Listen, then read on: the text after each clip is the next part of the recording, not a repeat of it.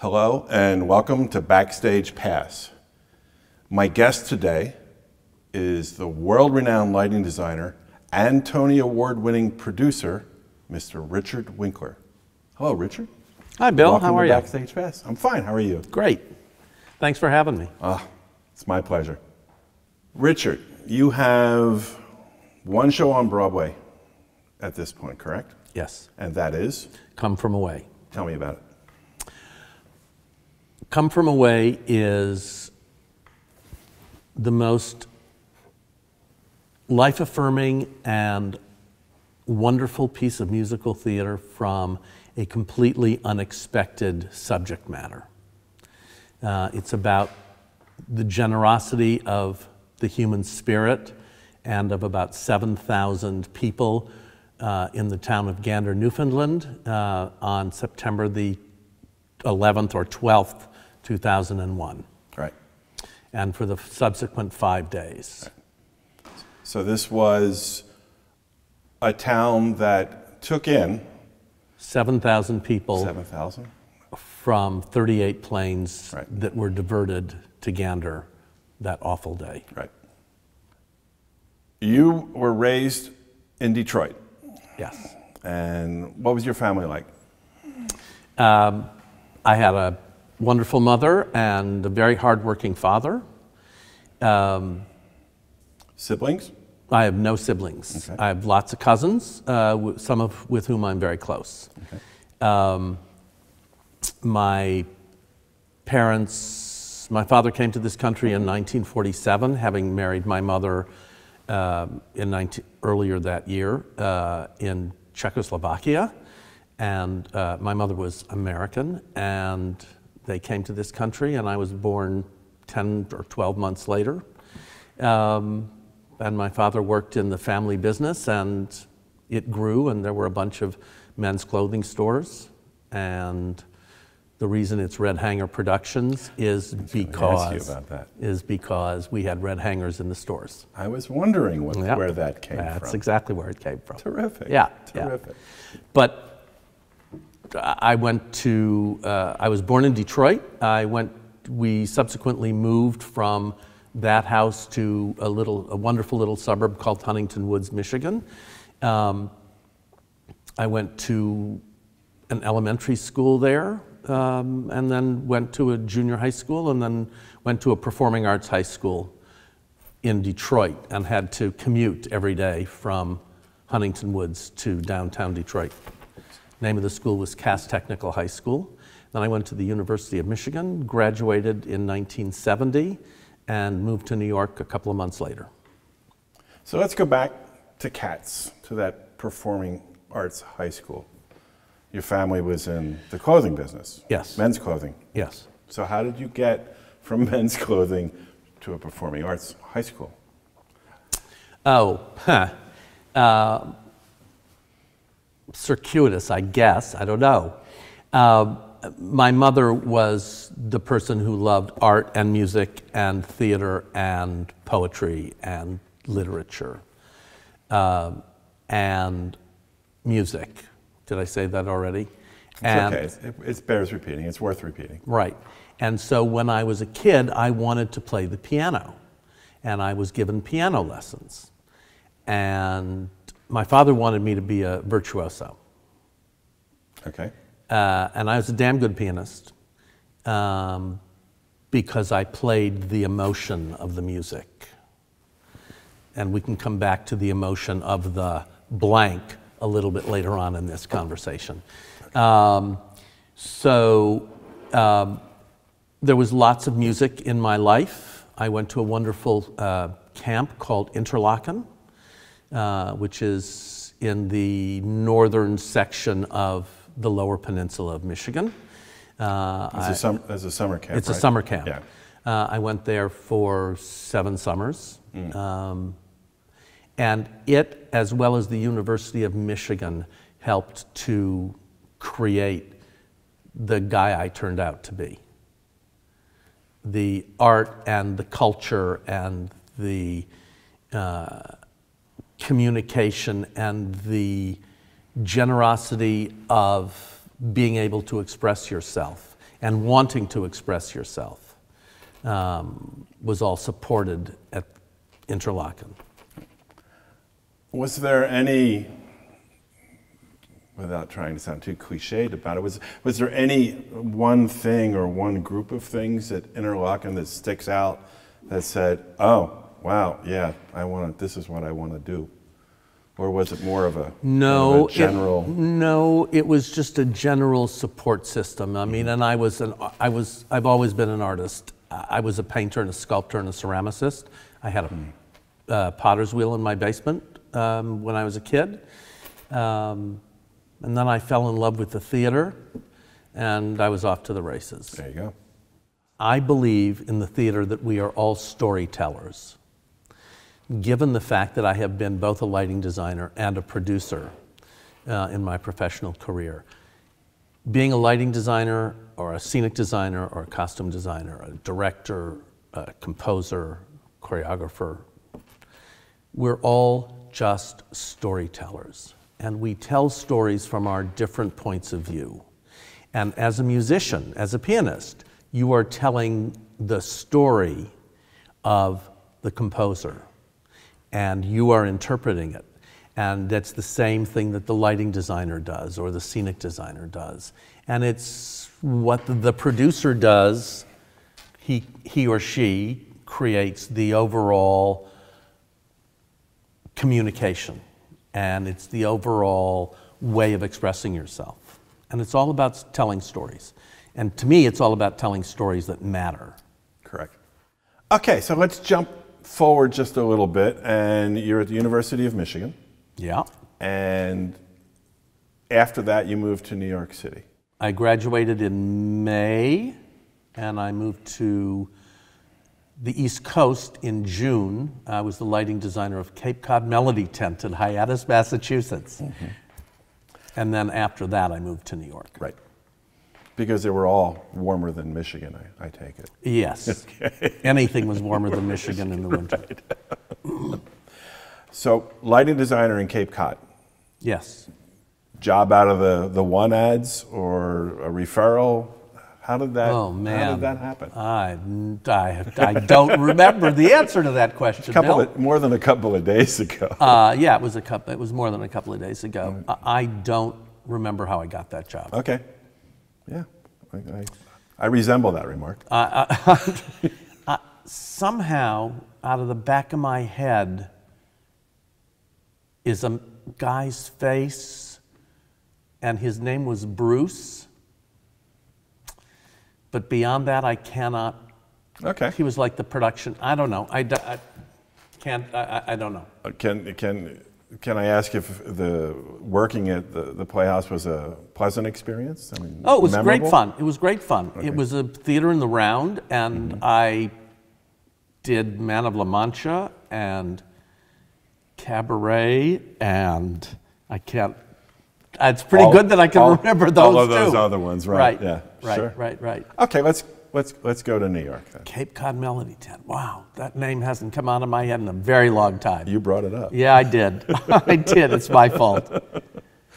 So from Cape Cod to Manhattan, I assume? Yeah. Okay. So you, you managed to land in Manhattan and not in Queens? Well, at that point, you could land in Manhattan. True, true. I mean, my first apartment was $191.36 a month. Right, Upper West Side? No, Bleecker Street, Bleecker, okay, Bleecker and 7th Avenue. right. Oh, yeah, you can't do that now. No. I, I can only imagine how much that apartment costs now. Right, right. So you're in New York and you're looking for work or are you working? I graduated in May. I moved to New York in June. Uh, sorry, I graduated from Michigan in May. I moved to Hyann, to Cape Cod Melody Tent in June. At the end of August, I think I drove into New York. I got an apartment, and I started going to a very fancy design school. It's the most pretentious name in the world. Lester Polakov Studio and Forum of Stage Design the people who were my teachers were Tom Skelton and John Gleason and Peggy Clark. That's a name from really the distant past. Yeah, yeah. And I studied scenic design, costume design, and lighting design. Um, after my second year at Lester's, I sent, no, at the end of my first year at Lester's, I sent out letters to all of the major lighting designers at that point, which was probably, let me see if I can remember this. Um, well, Jennifer Tipton, John Gleason, Tom, Skelton, Tharon Musser, Marty Aronstein. I kind of think, oh, maybe uh, Jules, Jules, right? right? So, with whom I've become pals since then. Um, Excuse me, Jules Fisher. yes, Jules Fisher. Yeah, wait, Yeah, get- I, I. I knew you knew. Sorry. Um, and I got a response. I love telling this story. I got a response from Tom, who hired me to be his assistant on a show called We Bombed in New Haven off Broadway. And it did. we bombed in New York. Um, and then I got a response from Tharon. And the response that I got from Tharon was, please come to my house and let's have a meeting. I went around the corner to her house because she also lived in the West Village. And I met her and we sat and talked for an hour. I was not in the union at that point. And she said to me at the end of the hour, the United Scenic Artists Union. seen artists, yeah. She said to me at the end of the hour, I would love to work with you, but you're not in the union yet. Please let me know when you get in. And I said, okay. And that was August. And the following January, on a Sunday morning at 11:30, my telephone rang. And the voice at the other end said, Hi, this is Tharon Musser. And I thought that it was a friend of mine playing a joke. And I said, Oh, hi, what's new? And she said, Well, I'm up here in Boston working on a little night music. And I went, Holy shit, this is Tharon Musser. and um, she said, I'm up here doing night music, and my assistant got sick, and he's, we've sent him home, and I've called all the union people that I can think of, and no one is available. Can you come up for three days and get me through the opening of a little night music? And I said, Sure. She said, How soon can you be here? I said, Tomorrow morning. She said, I said, Soon. I said, What time do you want me to be there? She said, Six o'clock for dinner at such and such a restaurant. And I was her, I was hired for three days, and at the end of the third day, she looked at me and she said, You ain't going nowhere. I will figure out with the union how to get you to come in with the show. I said, Great. And so that was the beginning of my relationship with her. And I was her assistant from, 19, from January of 1973 through the opening of a chorus line in 1975 uh, at the Shubert. At the Shubert. Yep. I've had a great career. I've, I've, I've had a great career. I'm eternally thankful for what this business has given back to me, both as a designer and as a producer. Um, very different kinds of things that I have learned. Um, That, that, that brings up something, and we talked about this yesterday. How is it working as a producer with a lighting designer or the other way around at this stage of the game? Oh, now that's, that's an interesting question. The only problem that I have had as a producer was once when I was working with a lighting designer who did not know his stuff. Right. And I would have, it's not that I'm a lighting designer and know how to do what I do. Um, he did not know how to do what he was hired to do. He was the choice of the director, um, and he and I had, I was very generous to him because he got screwed out of his tech time out of town. And I called him and I said, We're coming into New York, and I want you to have the tech time that you got chiseled out of.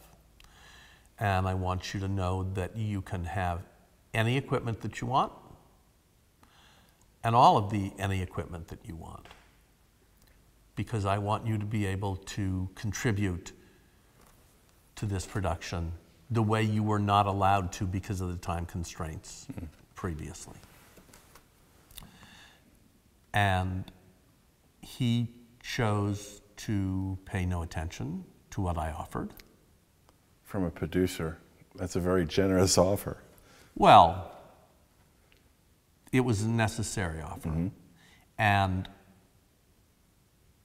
I'm a generous guy if you are generous back to me because I feel that our business is nothing but a collaboration. Right. And if anybody thinks it's anything else, they should get out of the business right now.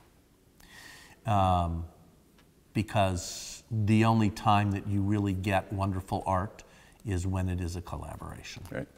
I don't feel that it is the right of the producer to tell people what to do, his, his or her creative people, um, what to do. I feel that it is the right of the producer to ask the artists what they are going for and express your express my own response to whether they have accomplished that. Right. Um, Do you get to offer an opinion when a designer tells you that they are going for this Yeah. particular look? Sure. Do you feel comfortable turning to that designer and saying, well, yeah, maybe, but maybe we want to head in this direction, and maybe it's not in the direction that you originally envisioned for the show? Do you feel comfortable Yes. having that conversation? Absolutely. Absolutely. Because I'm an artist. Right. That's who I am. That's where I come from. And I interpret and understand the creative response to a piece of theater and to a piece of writing. It's all about the collaboration, and, it's, and, it, and the collaboration is also all about the communication between the two people. Right. You have to have both. Absolutely right. Right. There is a phrase that pops up in the research, you know, in interviews and stuff that I've mm-hmm. read of yours, and it's theater that matters. Mm-hmm. But it doesn't ever get explained. What do you mean by that? I think I told you some stuff before we started rolling. I think I told you the story of the two shows, or two of the most important shows that my parents took me to. The first one was My Fair Lady, this, uh, and I believe this one of the other ones was uh, A Raisin in the Sun. Right. Listen, I love entertainment. I love to go to the theater and be entertained. Um, there are a couple of new musicals that I'm working on um, that are only about entertainment. Uh, there's a wonderful new musical called uh, Ain't Too Proud, which is about the Temptations and how they came to be. Um, and it is told with the background of Detroit in the late 60s. And that show dances. And it dances not only because of the brilliant choreography by Sergio Trujillo, but also by the brilliant lighting design by Howell Binkley, the brilliant uh, projection design, um, and the brilliant scenic design, and the way everything is cinematic and it moves and it all dances. I was one of the producers of a Pulitzer Prize winning play called Dis- Disgraced. A subsequent play of that author, Ayad Akhtar, uh, is actually opening this evening at um, Lincoln Center, and the name of that play is called Junk. The reason I fell in love with Disgraced, which I saw out of town originally, is because it is it was the 2014 or 2015 version of A Raisin in the Sun. It was it's about people from a different part of the world and a different class structure and it's all about important things in life. We can't just be entertained all the time. We have to think sometimes. And that's important to you. And that's important to me. I don't theater is theater is something that should stay with you after you walk out of the theater mm. itself. Uh, it should be something that makes you think about the subject matter. It should be something that helps facilitate conversations with friends. Do you think that that idea, that concept, theater that matters, is mm-hmm. that something that helped you or helped moved you, I guess, towards the producing end of the industry?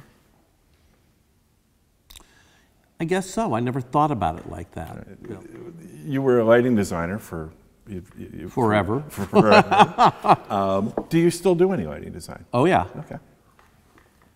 I just came home from uh, South Africa where I did the um, Harold Prince production of Evita, where I designed the lighting for the Harold Prince production of Evita, okay. uh, which is going on an international world tour.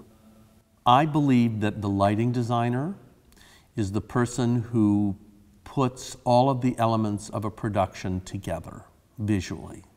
Uh, we take the scenery and the costumes and the direction and the choreography and the, and we're the ones who focus where the audience pays attention.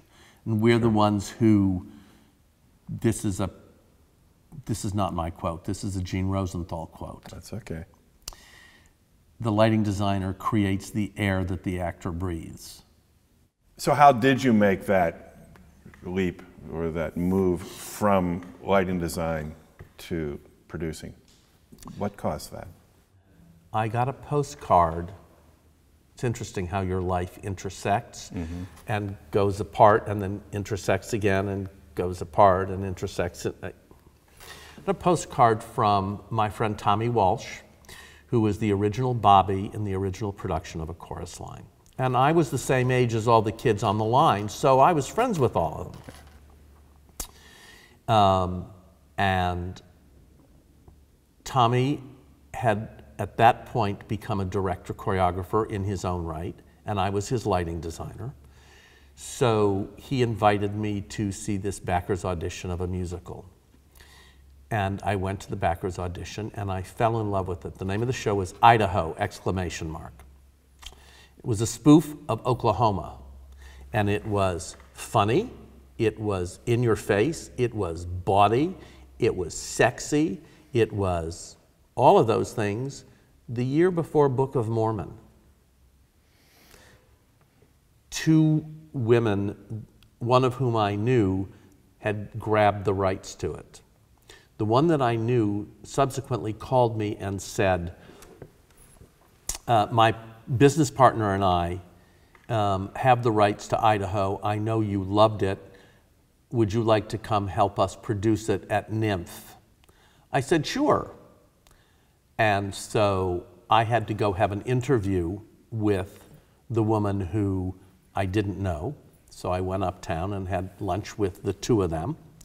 And the woman I didn't know said to me, well, I know how to raise money. Sharon knows how to sell a show. What do you bring to the table? And I said, Well, I know how to create the piece of theater that you're raising money for and that she's selling. Right, right. Um, uh, and we did, we did Idaho in the New York Music Festival, and it was a huge success. Um, I, oh, the woman who didn't know me said, Have you ever raised any money? And I said, No, but I want to learn. So I raised $28,000 for that little show. Um, and I produced the scenic design, the lighting design, the costume design. I picked the three designers. I picked the stage management staff, and I picked the backstage staff. And I negotiated with the shop, and I negotiated with the scenic. I mean, I negotiated all of the physical production. And at an, at an opening night party, I met a woman who was about to change my life. Um, that's not true. I didn't meet her then. I met her at a fundraiser on a boat. And her name is Jamie DeRoy. And then at the closing night party, she came up to me and she said, So, did you enjoy producing? And I said, Yeah. And she said, Well, do you want to do more of it? And I said, Yes, but on your level. She said, Okay, I will call you in, the, in a couple of months when I get the shows for the spring. The party was in at the end of October or beginning of November. And in January, my phone rang. I was out of town. I was designing the lighting for Three Mo Divas. And she called and she said, Can we talk about this? And I said, Sure. So I said, Listen, I'm going to be back in New York tomorrow. Can we have a long conversation about it tomorrow? She said, Sure. So the next day, she and I had a conversation, and she offered me four shows. She said, You can do one, two, three, four, or none. Just tell me what you're comfortable with. So the first show she offered me was something called Impressionism. I turned it down. It opened and it closed four weeks later. Right. The second show I was offered was Desire Under the Elms, that Bob Falls was going to direct, that Brian Dennehy was going to star in. And I just didn't think that was going to be a commercial success. The third show I was offered was something called Reasons to Be Pretty by Neil LaBute, which was at that point in rehearse in previews. And I read Jamie got me the script and I read the first act and I called her and I said, "Listen, this is a wonderful piece of theater and it's an important piece of theater. And it's a piece of theater that matters. And so I'm very much attracted to it but it's a very dark comedy, and so I need to see what the director is doing with it. She said, Okay, I'll get you a pair of tickets. So she did, and my partner and I went, and I, 10 minutes into the play, I turned to my partner and I said, This is a great piece of theater, but there's nothing commercial about this. Okay. Um, and the fourth play was uh, The Norman Conquest, which had just been a huge success in London. Mm-hmm. Uh, it's three interlocking plays uh, written by Alan Ayckbourn that are hysterically funny. You couldn't, it was so successful in London, you couldn't get a ticket to it. They were bringing over the same cast, the same director, the same designers. We were going to put it at the um, at Circle in the Square and I signed on to that. And I started talking, and I kept talking, and I had 25, and then I had 50, and then I had 75, and then I had 100, and then I had 125, and I had 150. And um, Jamie are. said, So do you have the money? And I said, Yeah, I've got all the paperwork here with all the checks, and they're all real investors. So we did, and Ben Brantley gave it a review like I have never read in my entire life. It was an entire page in the New York Times, an entire page. And it was a huge success artistically. Right. And it got me my first Tony Award. Right. That's.